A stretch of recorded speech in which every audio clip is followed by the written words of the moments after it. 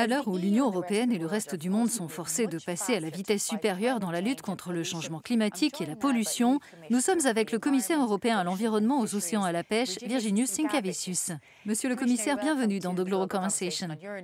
Merci à vous. Vous vous êtes fixé des objectifs très ambitieux en vue de mettre un terme à la pollution des sols, des mers et de l'air, mais comment comptez-vous faire exactement pour les atteindre?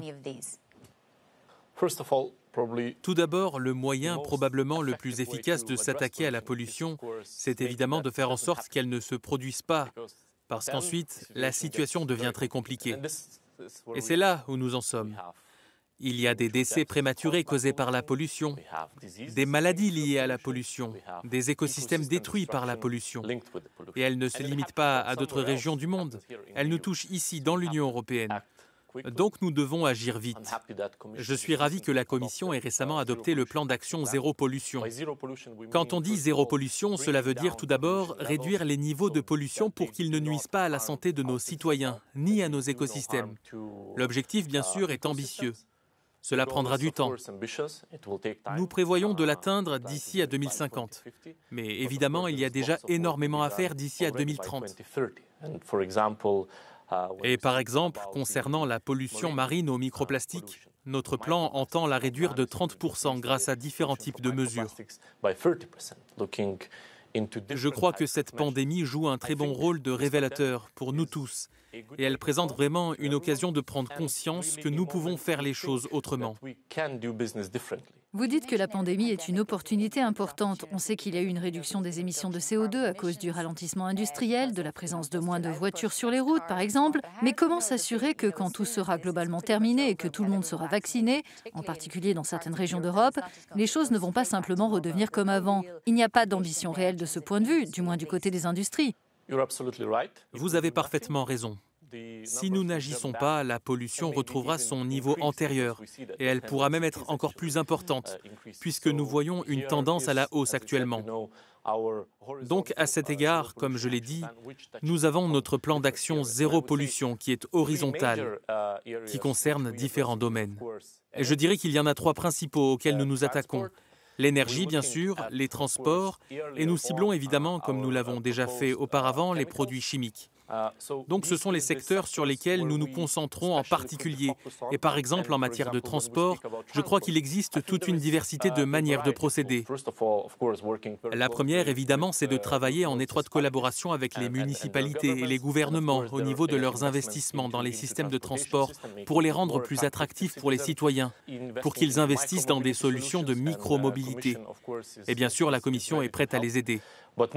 Mais le plus important, bien entendu, c'est cette opportunité unique qui se présente avec les financements publics et en particulier avec notre facilité pour la reprise et la résilience grâce à laquelle chaque État membre recevra une somme conséquente pour qu'elle soit investie principalement dans la reprise et le renforcement des capacités de résilience. Avant d'évoquer le fonds de relance, qui est un point très important, essentiel à cet égard, pourriez-vous nous donner un exemple? Vous parliez des produits chimiques il y a un instant. De quelle manière les industries devraient-elles concrètement se transformer pour s'assurer qu'il y ait moins de pollution? La législation sur les produits chimiques nocifs, les pesticides, sera-t-elle renforcée? Et y aura-t-il une législation pour encadrer la manière dont les voitures sont fabriquées, par exemple? Euh, Donc, tout d'abord, quand on parle de produits chimiques, concrètement, il s'agit évidemment d'éviter les substances nocives, de leur trouver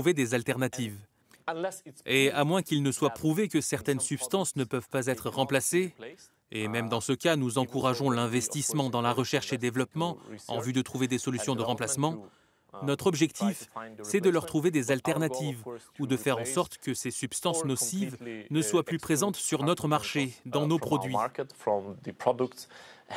Et je dirais que nous avons encore une législation inégale où dans certains produits, ces substances sont très clairement interdites depuis déjà un moment et dans d'autres, elles ne le sont pas.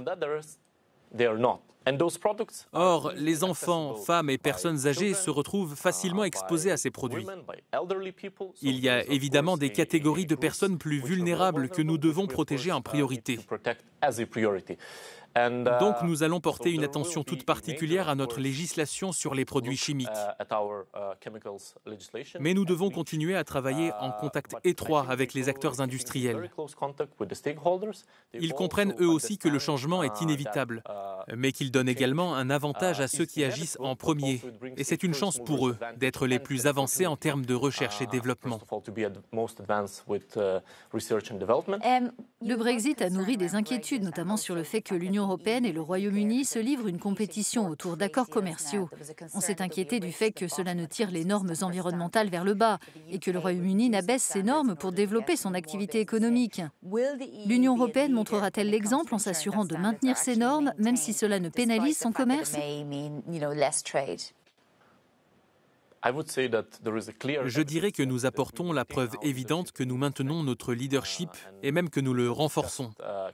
Nous venons de parler des produits chimiques mais il y a de très nombreux autres secteurs sur lesquels nous travaillons également. Peu après la pause estivale en septembre, nous allons lancer l'une de nos principales initiatives, et elle concerne la déforestation en particulier. Nous voulons porter un regard exhaustif sur les chaînes d'approvisionnement et faire en sorte qu'il n'y ait plus aucun produit associé à la déforestation. Donc je crois que c'est une avancée majeure qui augmentera encore le niveau de nos normes. Vous avez parlé du fonds de relance qui atteint un montant colossal, sans précédent, et on sait que le pacte vert est étroitement lié à la manière dont cet argent est dépensé.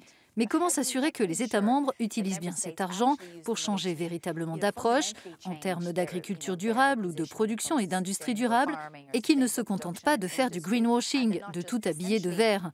C'est aussi quelque chose qui est souvent reproché à l'Union européenne par les ONG de défense de l'environnement. Tout d'abord, les associations environnementales, les ONG dans leur ensemble examinent, certes, avec attention les plans de relance et de résilience que les États membres sont encore en train de présenter. Mais sachez que la Commission travaille en lien très étroit avec les États membres. Et notre intention, premièrement, c'est de nous assurer que notre objectif de 37% de dépenses en faveur du climat soit utile. Et nous avons listé six mesures très concrètes que nous allons examiner dans les plans.